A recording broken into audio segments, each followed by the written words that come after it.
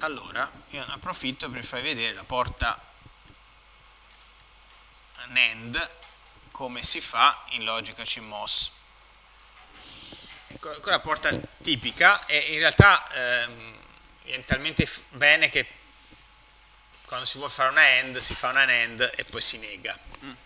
viene particolarmente bene. È fatta così. Vediamo a due ingressi una NAND ha due ingressi come deve essere fatta. Vabbè, chiamiamoli A e B invece Y1 e Y2 così evitiamo i pedici. Vi ricordate come è fatta la NAND? No? l'uscita della NAND è sempre 1 tranne quando i due ingressi sono 1 quindi è fatta così.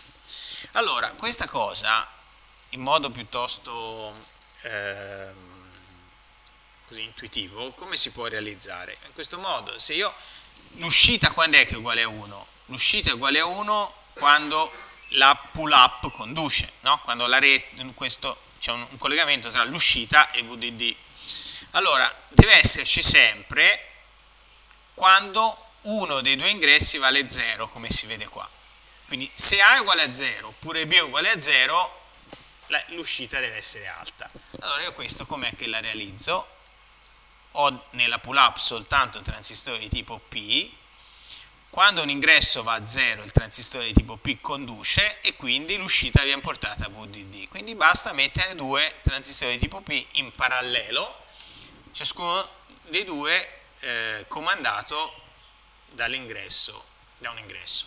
Vedete, in questo caso quando A è uguale a 0 conduce uno dei due, quindi la pull up porta Y verso l'alto, quando B è uguale a 0 è l'altro transistore che porta Y verso l'alto, quando A e B sono tutte e due 1 invece e i due PMOS non conducono, ah, ho fatto una cosa che non vi ho spiegato, quando A e B sono tutte e due a 1, i due PMOS non conducono e quindi eh, la pull up è sconnessa, no? è staccata, è aperta e a questo punto vorrà dire che la pull down dovrà portare Y a 0. Okay? Allora ho fatto una cosa che non avevo mai fatto prima, vedete ho usato un simbolo diverso per il PMOS. Questo è un simbolo che si usa spesso quando si fanno circuiti digitali perché è più semplice da fare. Allora, questo corrisponde a questo qua. È la stessa cosa, vuol dire, guardate, PMOS è come l'NMOS ma è negato, nel senso che conduce quando il gate è basso, mentre invece l'NMOS conduce quando il gate è alto. Ok, questo è il simbolo è il simbolo che si usa più frequentemente, per gli NMOS invece si usa un simbolo senza la freccia, proprio per disegnarli velocemente si leva la freccia, questo qui senza niente corrisponde all'NMOS.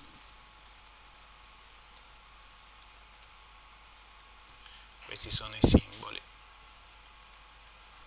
Ok, allora, la, la pull down, questa è la pull up pull up network, questa è la pull down network. Vedete, la pull down al contrario, quando è che deve condurre? Chiaramente conduce quando y vale 0, quindi quando sia A sia B sono, tutti sono 1. Se, se, voglio ottenere una rete che conduce quando sia A sia B sono 1, devo mettere i transistori comandati da A e B in serie, perché quando A è uguale a 1 questo transistore conduce, quando B è uguale a 1 conduce quell'altro e quando conducono tutte e due la rete conduce. Quindi li metto in serie. Va bene? Questo è il modo di, di realizzare la NAND a due ingressi.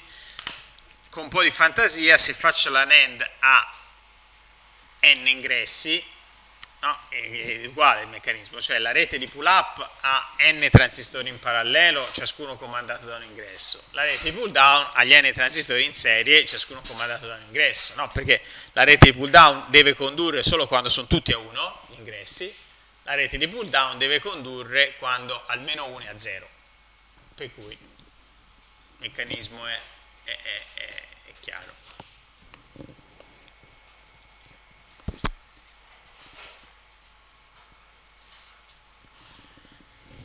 la porta, l'altra porta che è, quindi vedete allora, uh, in generale, torniamo un attimo indietro, in generale, questa è la porta NAND, allora, in generale uh, una porta NAND a n ingressi ha bisogno di n PMOS e n NMOS per cui insomma si giustifica quello che vi dicevo prima no? eh, più, più, ingressi ho più è complessa la porta. Eh, esattamente ci vogliono due volte per n i, i transistori ok. L'altra porta che ha senso vedere insieme è la porta NOR che di nuovo viene particolarmente bene perché CMOS è fatta apposta per invertire. Allora la porta NOR ha due ingressi. Vediamo di riscrivere la tabella di verità. Dunque la porta NOR è uguale a 1 eh, solo se i due ingressi sono a 0 altrimenti vale 0 quindi riconosce la porta NOR riconosce solo A e B uguale a 0 allora e qui la situazione è duale non generale. Perché? perché chiaramente l'uscita sarà 1 solo se A e B sono a 0 quindi mettere due transistori in serie. Cioè uno comandato da A e l'altro comandato da B. Vedete quando A è uguale a 0 il primo transistore conduce quando B è uguale a 0 il secondo transistore conduce quindi solo se tutte e due sono uguali a 0 la rete di pull up conduce ok? esattamente come previsto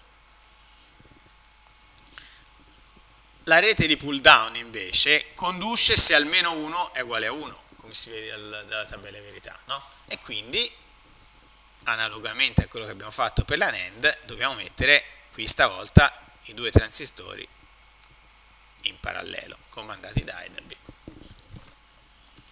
Quindi NOR ha n ingressi ha bisogno di, ha bisogno di n PMOS e di n NMOS di nuovo 2n transistori. Le NOR quindi le NOR e le NAND hanno lo stesso costo, qualunque funzione logica la posso fare con NAND di NAND o con NOR di NOR, al momento sono equivalenti per noi. Ho anticipo, e poi lo vediamo più avanti, che in particolare in tecnologia CMOS viene più comodo fare le NAND. Non si capisce ancora da qui, si capirà più avanti, tipicamente le NAND vengono più piccole. Quello è il motivo. Ancora qui, qui è un po' presto per, per vederlo però ve lo anticipo, poi lo, lo, quello è un concetto che riprendiamo insieme. Oh, Un'altra cosa che vi faccio notare, ma non, non vi racconto adesso, poi dedichiamo una, diciamo una sezione in, in, intera alla cosa, è questo, guardate, eh, la pull up network e la pull down network hanno una, una relazione l'una con l'altra, vedete, già in questo caso si capisce, c'è una dualità, come si dice, vedete, nella NAND ho due transistori in parallelo nella pull up e due transistori in serie nella pull down. Nella NOR ho due transistori in serie nella pull down e due transistori, eh, scusate, due transistori in serie nella pull up e due transistori in serie nella pull down. Ora vedremo che in realtà questa è una cosa un pochino generale, sembra un indizio questo, poi nella pratica la rete di pull up e la rete di pull down sono complementari cioè quello che è in serie nella pull up in parallelo nella pull down, quello che in parallelo nella pull up in serie nella pull down. È una cosa che, eh, una proprietà che, che, vedremo è sempre eh, manifesta ed è una proprietà che discende direttamente dalle famigerate leggi di De Morgan.